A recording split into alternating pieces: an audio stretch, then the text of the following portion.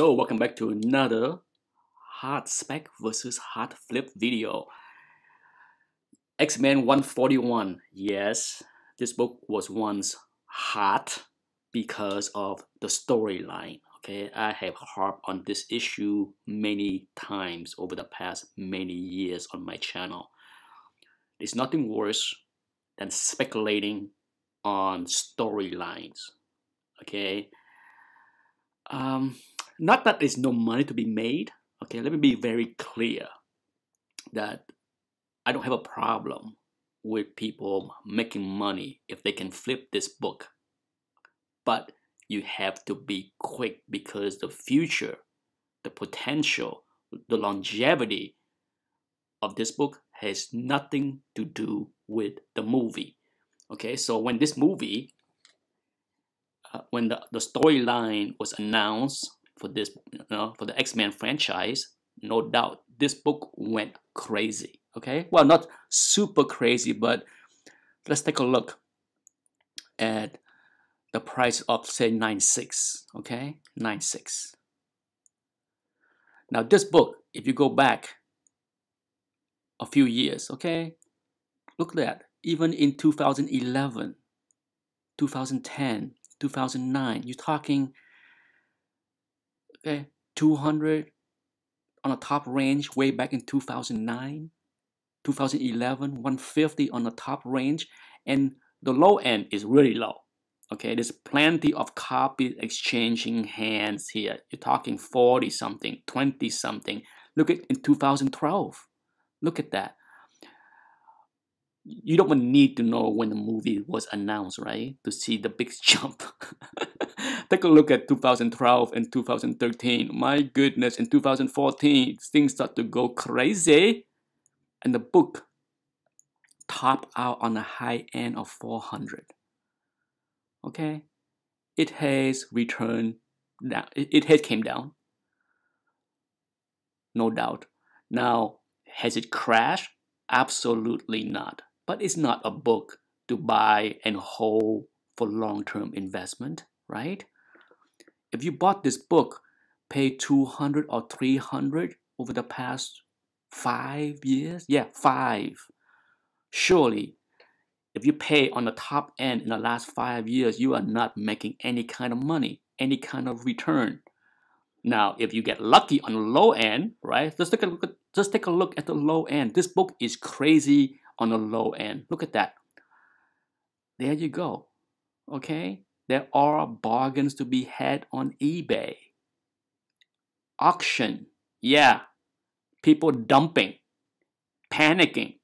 There you go good time to pick up a, a book high grade slab for cheap right so yeah if you buy on the low end congratulations if you buy on the high end in the last five years oh boy right so the book is is the, the worth the value of this book has really little to do with the storylines okay? There's always hype on storyline and i can't harp enough that if you're in the spec game for storyline, you better cash out quick.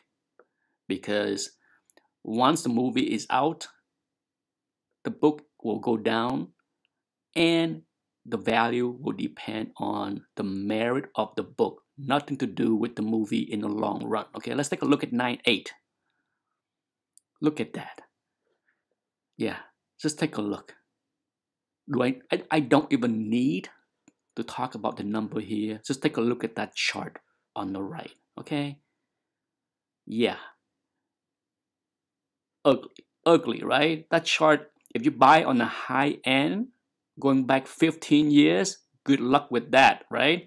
But yeah, there's always bargain to be had.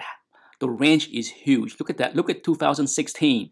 The low end, 103 the high end 425 yeah so if you want this book my advice pay attention to ebay auction yeah they go for cheap they go for real cheap i can guarantee you many of these low end are not buy it now holy cow okay you don't usually see book that has such a wide gap like this where the low end and the high end is three times. Look at that.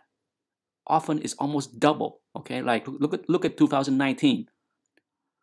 More than double. Low end was 219, the high end is 460. Yeah. How about 2013? Low end 275, high end 680. There you go. See? Often bargain can be had. And so yeah, when it comes down to this book, if you want it for your collection because it's a great book, a cool book, pay attention to eBay auction. They will go for cheap. Buy it because you love it. Now on to the portion of the hot flip.